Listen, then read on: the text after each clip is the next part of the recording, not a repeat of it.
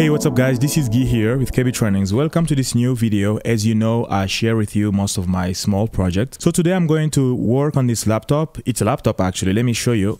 See, this is an old laptop where I use my home services or where I installed most of my home services that I had on my home rack. As you might have noticed, I don't have the home rack installed yet. If you've seen my old videos, I had a rack with a bunch of servers where I had GNS3 and all kind of home services for my home network. So that um, home rack is not installed in this new home and I'll tell you why. So that's why I'm using this one now and I have to upgrade the memory on this computer from 16 gig to 32 gig. I just got these two uh, memory delivered about a week ago from China and uh, I'm going to do an upgrade right now. So today I will just tell you exactly why my home rack or my home lab is still down and what I usually have on that rack and what I'm going to use this computer for. And then I'll dive in into the inside of this computer to tell you exactly what I have installed and everything. And I will then upgrade the memory to 32 gig and then we'll check and make sure it's upgraded. So first of all, why my home lab is down or why my rack is down. The rack was good. I had it when I was in an apartment and I had the whole HVAC system installed because the little storage room that I had the, the rack in was getting hot at some point. So I had the HVAC in the back and everything it was working fine and I was also getting a lot out of it because I learned a lot with the rack, with the servers. First, how to install it and second, all the services that I was running on those servers. I had uh, Windows server, I had uh, an Exchange server, I think. I had Linux uh, machines. I had a bunch of things. So it's good. It was good. It was a good investment. Even though it comes with all the cons of having a rack in your apartment or your house. Because when you have a rack like that, those servers are very power consuming. So you'll have a high electricity bill. For example, when I was in an apartment, without the server, I was paying almost 80 bucks a month or $80 a month for electricity. But when I had the when I had the servers hooked up, I was paying about 250 or 300 dollars of electricity, which is high. It's also not bad. I'm not complaining because I take it as an investment because I was learning a lot with the lab, so I couldn't complain about the the electricity bill, and I had a good job. So it was a win relationship anyway. I was the one winning by having those kind of services. And then I had to move out of the apartment to come into this new home here. And since I've been here, I've never had a time to reinstall my servers, even though I was thinking of doing it and getting the whole HVAC system back again. Because the HVAC system that I had there was kind of automatic. I mean, it was automatic because I had a Python script running on the on one of the Linux machines that I had. If the temperature goes beyond a certain threshold, the the script will activate the HVAC system or the blower, and the blower would blow out the, the the, the hot air. And then when the temperature was dropping below a certain threshold, it was cutting it off and all of that, just to save. Because the blower itself, it's like 500 watt, so I didn't want to have it on all the time. That's why I was uh, doing it. So I moved in here, and I didn't have enough time to get it installed. I really didn't need it per se because I already made videos about it. I already knew what I was running on it. And I have this computer here that I built in front of you. There's a video where I showed you how I built this um, customized desktop. So it has 96 gig of RAM. It's i9 with 500 gigahertz of turbo. That's where I have my GNS3 uh, server running right now. I can run a kind of topology using this desktop. So that's why there was no incentive for me to get the rack up unless I have something to do with it. Like I'm thinking of a project where I can have the servers installed and all the students on kbtrainings.com that don't have enough power on their laptop they can connect to my home uh, GNS3 server and then do a kind of uh, practice on it. So that's something I'm thinking of. I don't know if it's possible with GNS3 because I have to have enough users, I mean, uh, different users, and give authentication to all those users.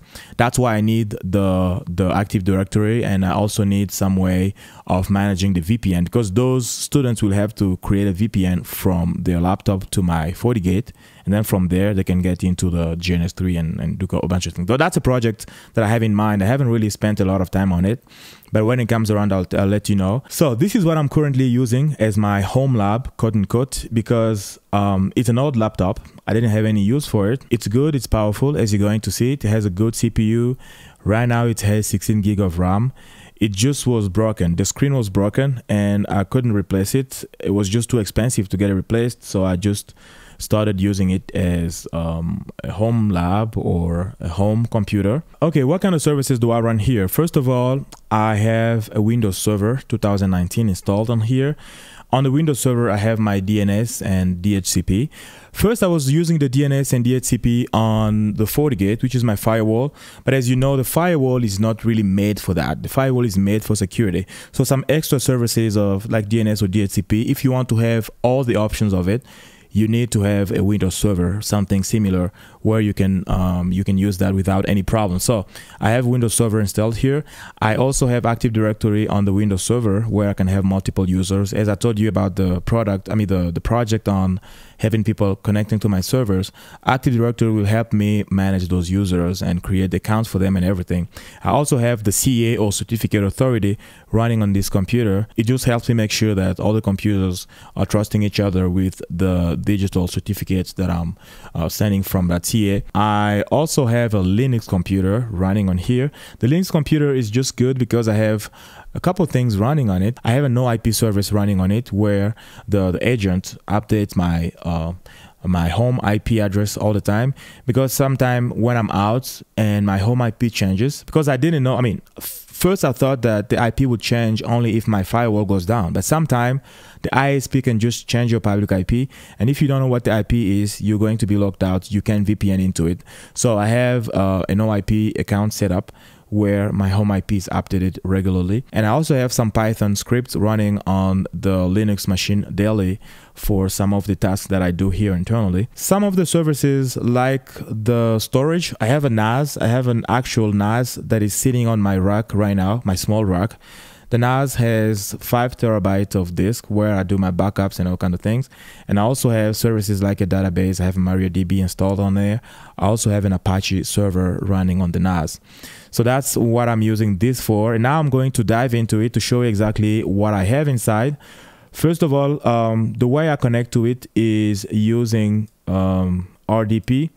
If you can see here, I have a cable connected to it. This is a network cable going to my home network and all I do is just come into my computer like this and I will go on uh, RDP and then I'm going to take hp.local hp.local that is the computer that I have on the table here.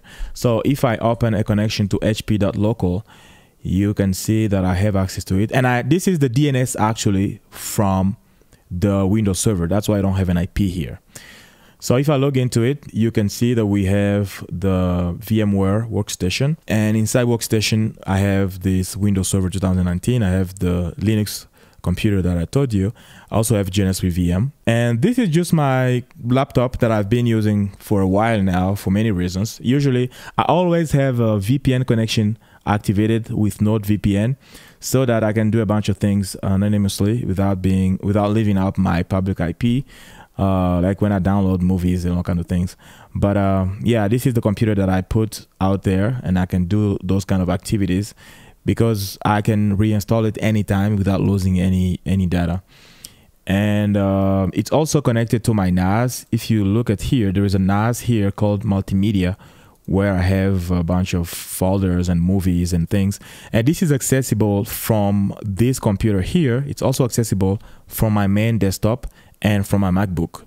So all of that is here in the NAS. And if we go inside the Windows computer or the Windows server, I do winser.local. So this is bringing us inside the Windows uh, Server 2019 where I have services running here. I have uh, Active Directory, I have DHCP, I have DNS. I also have IIS um, activated here. So this is for the Windows Server and I'm happy with the result. I'm happy with what I do with it so far. Oh, by the way, I forgot to show you. This is the the Linux computer that I told you about. So this is on my main uh, desktop, and I just have an SSH session to that uh, Linux machine running in this virtual environment. And I'm happy with it so far. I'm happy with the service. So that's why I ordered the extra RAM to make sure it has enough memory to support whatever I'm going to throw at it. So if you have your own computer with low memory, you can upgrade it. Mostly you can double it without any problem. Now I'm going to upgrade the RAM on this computer here. This is my phone. I just have everything written down so I can make sure that I cover everything because as you know, I do French and English. Sometimes I notice that there are things that that I mentioned in the French version I forget to mention in the English version and vice versa. So I usually write uh, some bullet points here where I make sure I cover everything. All right, so now I'm going to do the upgrade. First of all, I need to shut down this computer. So to do that, I just need to go inside the computer itself with RDP and I'm going to shut it down. I don't have to shut down the workstation, the VMware workstation. It's going to shut down itself. So I don't have any concern with that. And meanwhile, my network is going to miss the DNS and DHCP. That's fine. I'm going to do it quickly in about 10 minutes. So let's go ahead and do it.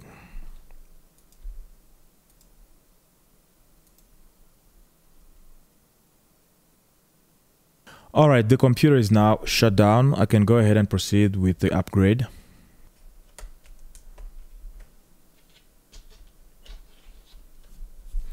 All right, so as you can see, this is the state of this computer. It's very, it's not old, but it was just broken. I removed the DVD reader on the side and uh, here we have these different connections. We have HDMI and uh, SDK, SD card and everything here. So yeah, the the screen was just broken, and I didn't want to spend a lot of money to replace it because I was it was a custom build. So I just stopped using it and uh, I went to a different computer. So let me open it and I'll show you how I will change the RAM.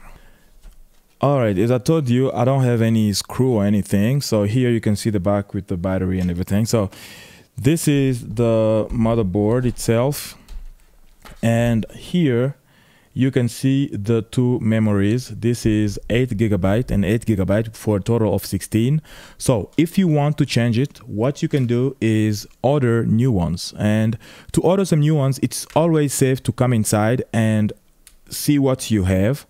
And if we open this you can see that um, we have some numbers here as you can see this one says p3l and so on. So if you are looking for a new one make sure you have this same number on the new one and it should be compatible. And when you get the new one like this one here this one is the same number but this is 16 gig. So you're just gonna bring it here and go in your in your laptop and replace it.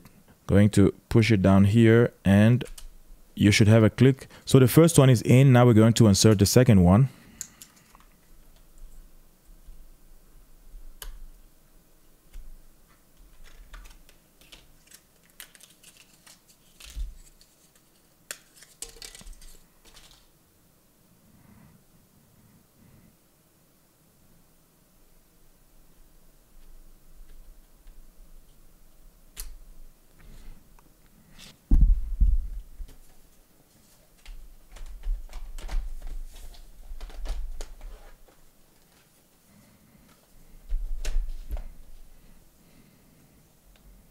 All right, so we have the new memories installed. So now we're going to make sure everything works fine. I'm going to power on the device connected to the network. Uh, this is the power cable and the ethernet cable.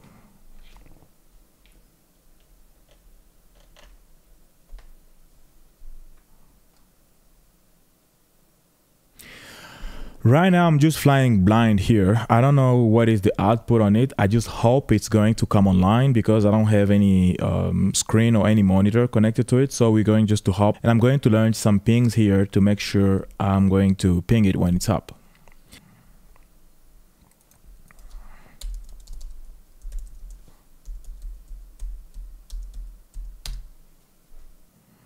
Yeah, I was about to get worried, and now I have some pings back from this computer here, which is good. Let's go ahead and open D, um, um, an RDP session to it.